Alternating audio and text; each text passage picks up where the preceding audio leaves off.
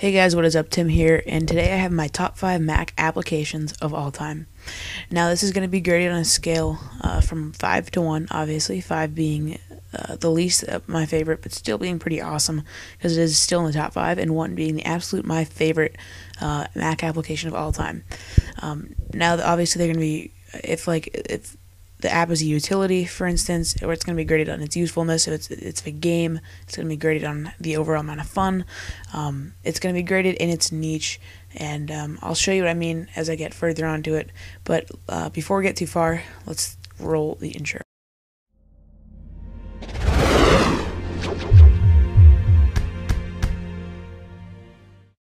So the first app we're going to be talking about is TextExpander, which is number five in our list of top five Mac applications. A text expander is a utility that can save you large amounts of time in your daily Mac use. Um, it is probably one of the most useful apps on this countdown list, and like I said before, it saves you tons and tons of time. Um, basically, what it is is you can basically bind words to phrases. So what I mean by that is you can type in, you can bind the word shippy to address. So if you wanted to type in your address, you type in the word shippy and it'll type in your address. Now within the app, I'm sure I should be on screen right now, but within the app you can edit all kinds of things. You can make it say whatever you want. I have tea time as time. You can set codes like if I did do percentage uh, 1L dot dot percentage M uh, percentage P that me that is a code for time so if you wanted to type in the time, you just press T time, it'll enter that code, find the resources in your computer, then type the time onto the screen. It's very, very cool, very, very useful, and it's just really up to date with the technology, and it just really uses um, codes and all kinds of stuff to its fullest advantage. I really like what TextExpander did. And this app will retail you for $30, and you can find it in the Mac App Store or from TextExpander's website.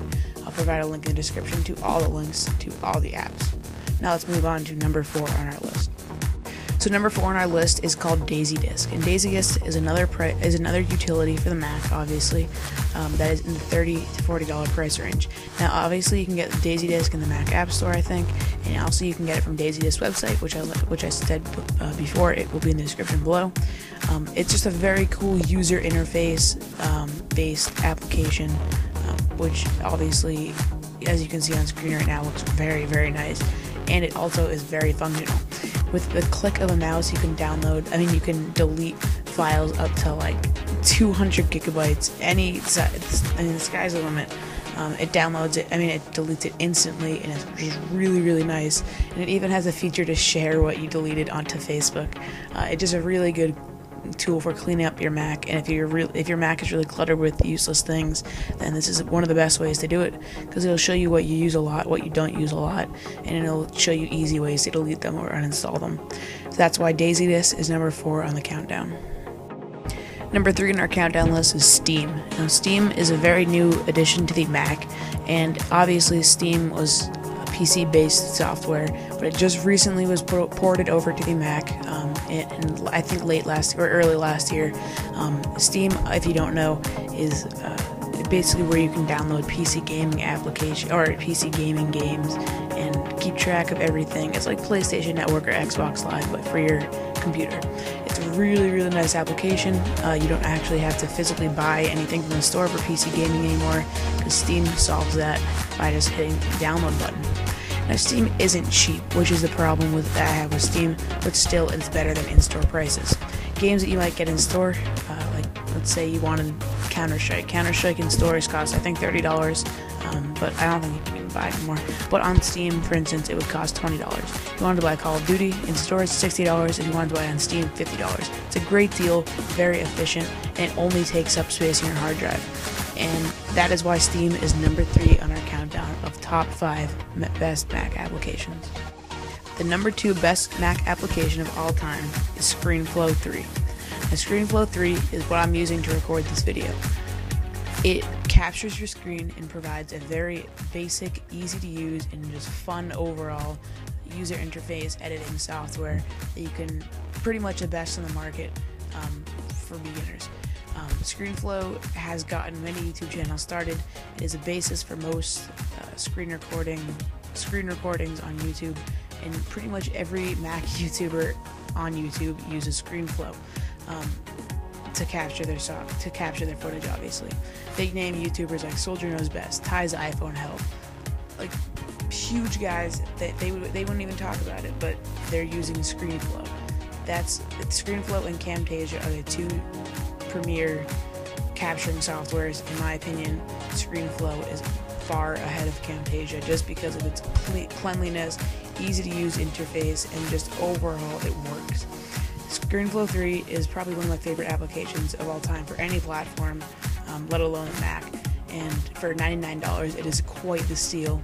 Um, and yeah, and even if you have ScreenFlow 2, you can upgrade to ScreenFlow 3 for $39. I'm not sure if it's completely worth it because ScreenFlow 3 doesn't add too much more to the table, but still, if you're really serious about video editing or having screen capturing, then you might want to upgrade to ScreenFlow 3. And that is why ScreenFlow 3 is number 2 in my countdown of top 5 Mac applications of all time. And the number 1 Mac application of all time isn't even an application at all. It's just suite, a creative suite. Now, if you guys have guessed by now, it is Adobe's Creative Suite Master Collection CS5. This has everything you're going to need for creative software. It's got everything from Photoshop to Fireworks to Flash to web design, everything you need in a design studio, you have it here Master Collection CS5. You can publish web articles, you can create logos, you can do intros, you can do video editing, you can edit sound, you can produce sound. Everything you need is in Master Collection CS5. Now, the only issue with this is it's over a thousand dollars. Now I know that sounds really pricey, but if you're really, really into the design and studios, this is a must, must have. I know many professional creator, creators of all kinds of things, everything from sound to music, to photos, and they all use Adobe's products. Adobe produces the most high powered products in the world with a very easy to use user interface throughout the entire board. Um, their software is very very well organized within each other, um, very easy to use. Once you get the hang of it, it's just, just second nature. Um, I've learned how to use Photoshop over the past month, and is probably one of the most fun softwares I've learned to use. I'm starting to lose, use Adobe After Effects and Bridge, um, and I'm hope to start to start to learn Premiere Pro really, really soon. Professionals use these, professional movie makers use these, and coupled with Cinema 4D, um, it is an unstoppable um, just force of applications with After Adobe After Effects and Premiere Pro. Um, Adobe makes some of the best software in the world, and that is why they are number one on my top five Mac applications of all time. Now, thanks for watching, guys. I really hope you enjoyed. This has been Tim and I'm out. Peace.